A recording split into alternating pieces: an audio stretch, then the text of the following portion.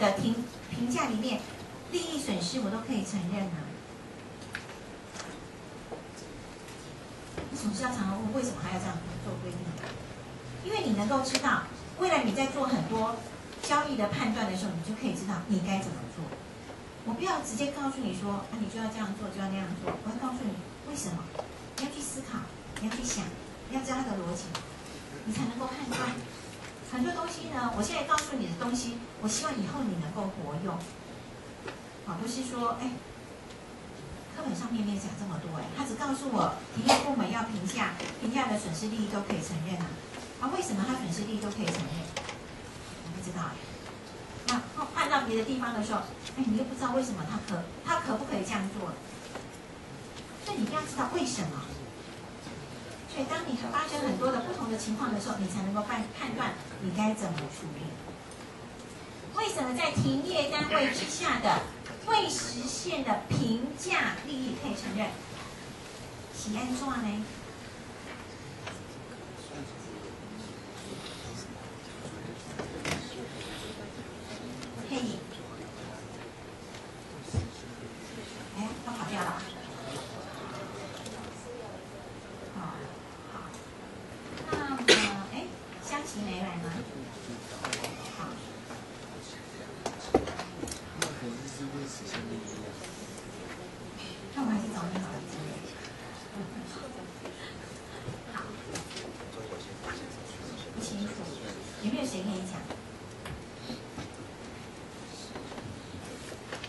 能选为什么？为什么停业单位的评价利益可以承认？他的评价可能是他的所有未出售的资产包括流动跟非流动减掉未清偿的负债这个叫做净资产。净资产的公允价值跟净资产的账面价值中间的差不管是损失还是利益，都可以承认。我们这叫做评价损益。为什么它可以承认未实现的评价利益？为什么固定资产里面？我的评价利益不能承认，呃，我的评价如果我的可回收金额高于账面价值的时候，我不能承认。为什么不能承认？为什么这个时候我又可以承认？总有一个原因吧，总有一个原因吧。好，看同学的教学意见调查，他就会讲。好，因为呢，这个上课有没有启发性？没有，因为是听我跟你讲。好吧，有启发，我会引发你的问题的时候，就是我一个人自说自话啦。好，就我很努力。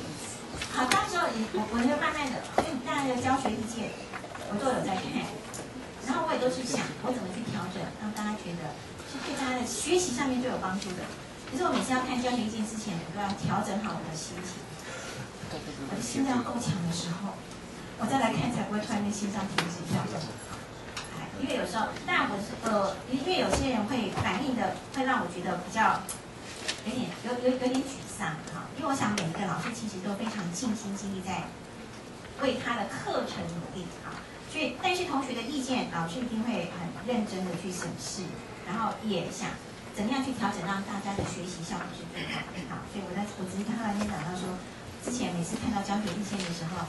呃，同学就说这门课没有让我有什么，没有没有没有让我有什么呃引发我去哎思考，啊，我好像是告诉你说，你就要这样子，你就要那样子，啊，因为通常我跟你讲完之后，然后我就说，好，为什么要这样呢？我就开始讲答案了，那你听完之后，哎，那，如果我要一直问大家问题哈，可能出题就会这样。好，那我现在界定我这门课呢，让我教这个会计的技巧之外。其实我更重要，我只想让大家有会计的知识，因为有这样的根基，未来你在做很多的这个交易的判断，你才有更好的一个依据来做判断。所以，好就哎，林肯上班没关系，就问你为什么？为什么？好，李姐，你可以想象一下。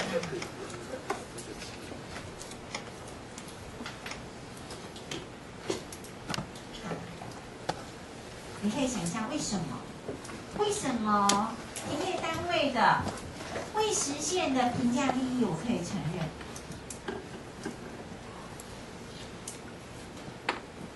但是停业单位大部分的资产未评价的利益是不能承认的，损失是一定可以一定要承认的。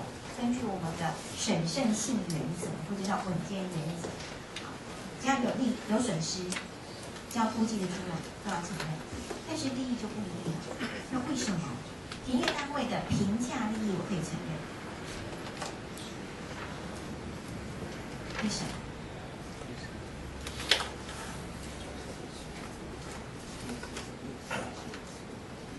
任何一点，哎，太好了。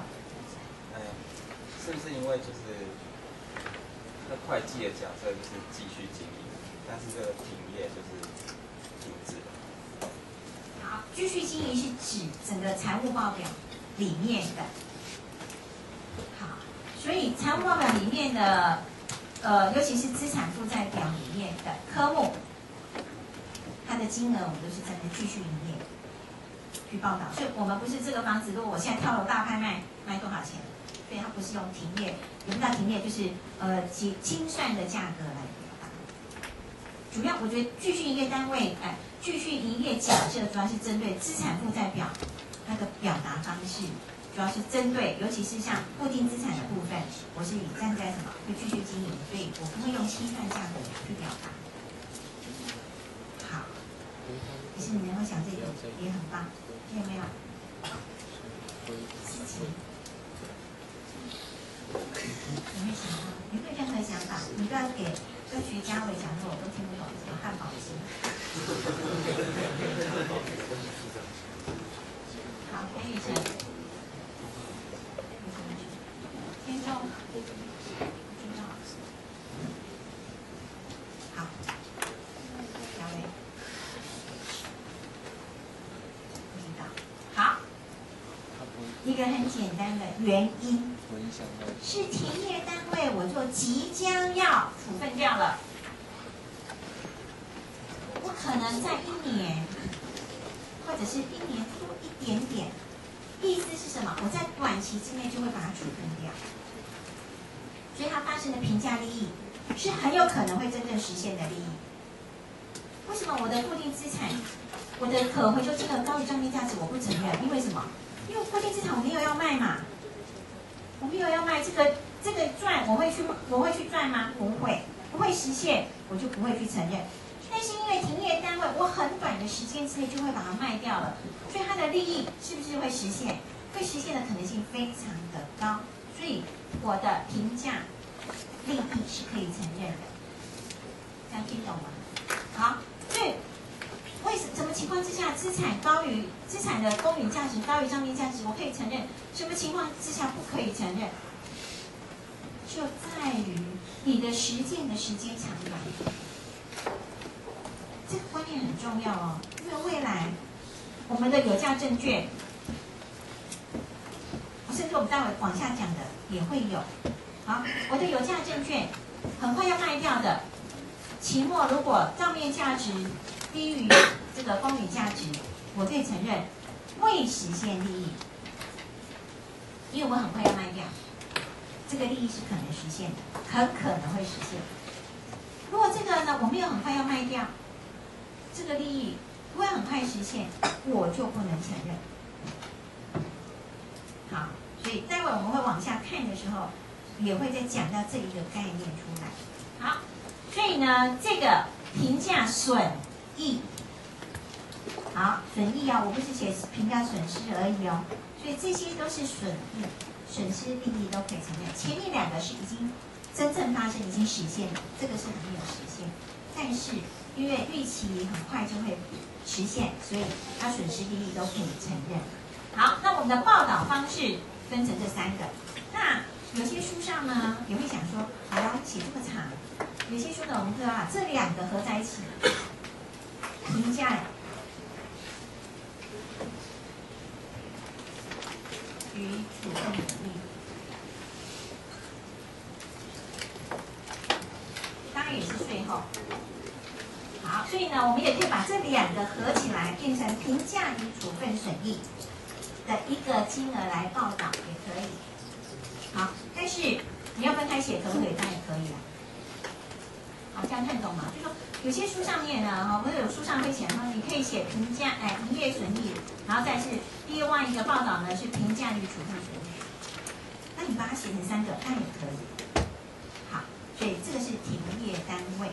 好，所以你要先搞清楚，我停业单位怎么报道？我不能像前面一样，它的销货金额减掉销货成本，然后再得到销货毛利，再减掉营业费用，得到营业净利，没有这么麻烦。你就把它分成这三类，或者是把它分成这两类就可以。好，所以最后才会得到什么？本期损益。好，所以呢，你要记得，最后才知道本期损益。好，当然你是本期损失就损失，本期净利就净利。那我们刚刚讲到，我们在损益表里面要揭露每股盈余，对不对？如果你有停业单位，所以这边才得到本期损益哦。好，所以我报道的时候算 EPS 的时候。我就要把它分出我的每股盈余在计算上面，一个继续营业单位每股盈余，营业单位每股盈余，最后才得到本期损益的每股盈余。意思是什么？如果我有这样的一个是那个损益表的话，我在报道我的每股盈余的时候，不是直接算拿这个金额去除我的加权平均流通在外股数就好了，就是我报道的时候就要分出。继续营业单位的每股盈余是多少？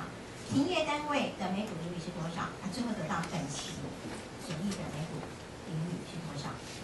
那为什么要这样子写？为什么要这样写？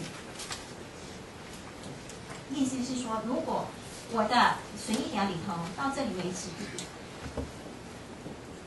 我到最后我要做每股盈余的揭露。继续营业单位，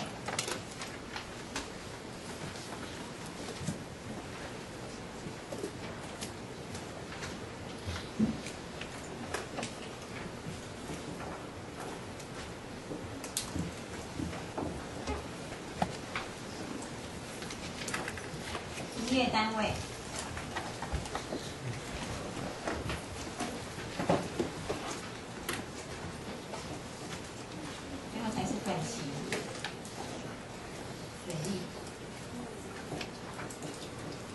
假设我的损失，我是提单位的，整个算下来是损失的啊最后好随便，我我不知道最后的，我可能每股盈余是产生每股损失啊，盈余是损失，是负的也可能。所以当我在报道的时候，我必须每股盈余的时候要分出继续营业单位、停业单位的每股盈余，然后就会得到本期所有的每股盈余。啊，为什么呢？为什么要这样子写呢？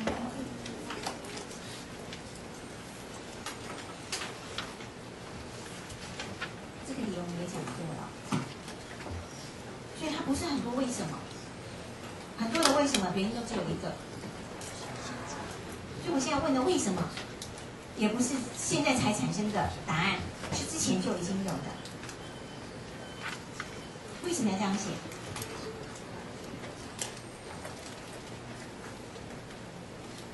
红红，为什么？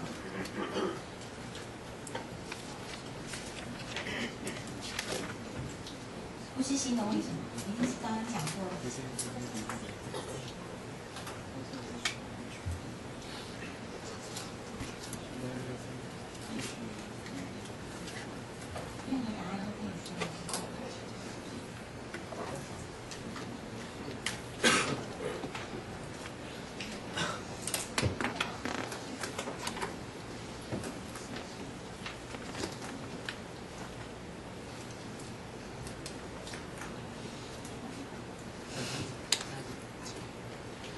了。两针，林两针，我知道你什么针啊，一下子想不出来是什么。好，林两针，针，你说呢？有，你刚刚这个针图图打 pass 了，我就没写。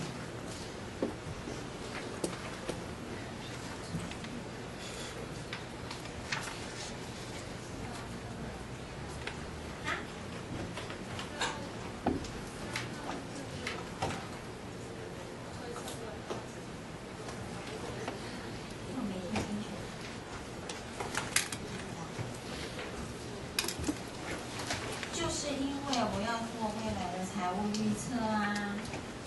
我在做财务预测，我可以拿一大堆的东西来算来预测。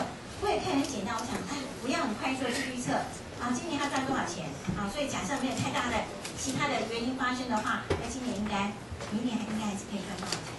就这样啊？为什么要这样子写？当然目的就是因为我要做财务预测的时候，我当时强调我要根据继续营业单位，因为继续营业单位是什么？明年还会再发生啊。所以很简单，为什么要这样写？因为我要做什么？未来的预测啊，方便我很清楚抓到我的数字去做未来的预测。然后所以为什么我们不要编单式的单站式的损益表？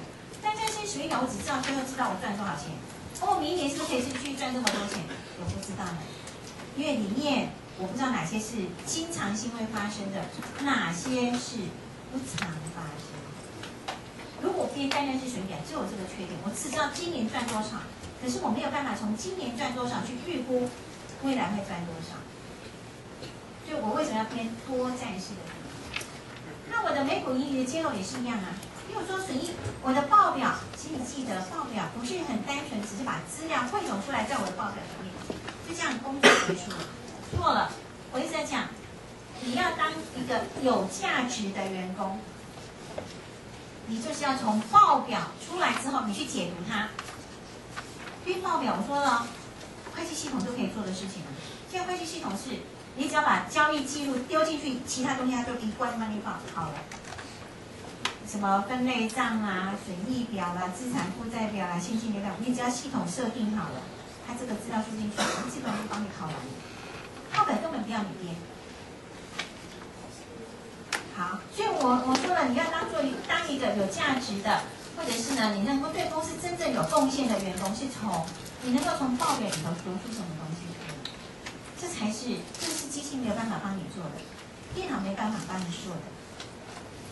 电脑可以可能根据你的设定值挑出异常的，可是为什么它是异常？这异常是什么原因产生的？你怎么去解决它？就不是电脑可以告诉你的。这就是人的价值。要不然你说以后都是电脑就好了。好，所以讲到这里为止，都是为什么？而且一再强调，所以我讲今天讲的几个观念，其实都一一再重复，一再重复，啊，告诉你说这个报表重点是在你怎么解读它。好，编制是一个，但你要解读之前，你要知道这个报表怎么来的。所以你说，那我们都既然机器都可以做，我们为什么之前要学那么多会计？你不知道不知所以然，怎么去解读它呢？不知道为什么，怎么知道它后面会有什么影响？所以你还是要知道，你还是要去做这个很基本功。那你做了这个基本功之后，你后面才能够去看读这个报表的过程怎么产生的，哦，未来会产生什么影响？所以一定是要这样的一个过程来的。好，休息五分钟好了，有人有人已经撑不住了。好，现在三十分钟，哈，十点十点半休息五分钟好。